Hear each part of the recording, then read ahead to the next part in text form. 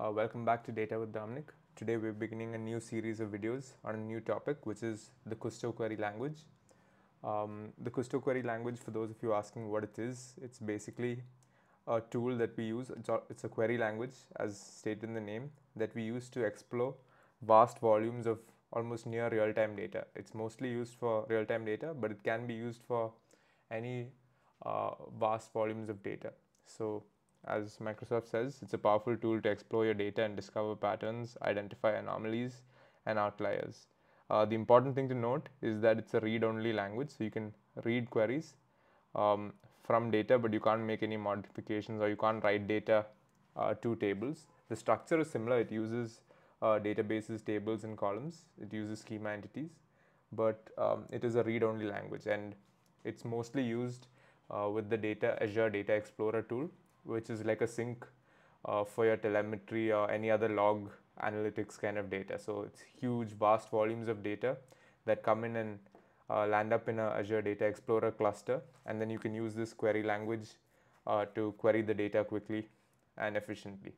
Uh, so it's quite a powerful tool to know, especially as we go into the future with um, the volumes of data growing exponentially every year, as well as the the importance of uh, log and telemetry data and how its stock is rising currently. So that's why I wanted to dive into this uh, playlist, dive into this topic for this next series of videos.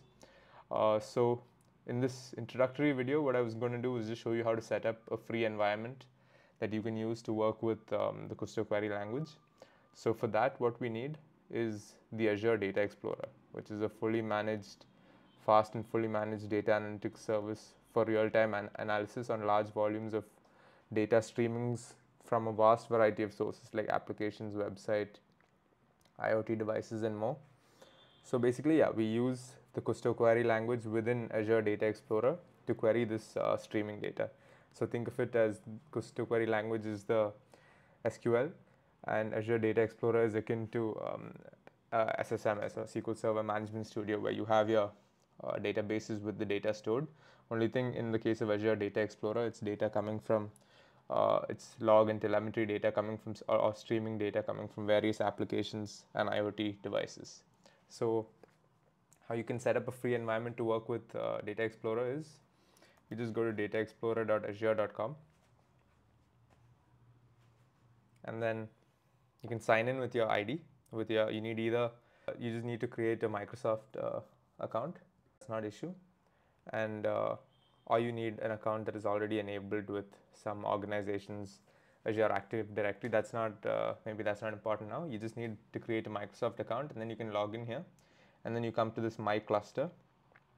Once you come to My Cluster, it'll say bring data to Azure Data Explorer and analyze for free. So you can create cluster and database and give it name. So I'm just going to call it Data with Dominic Free Cluster.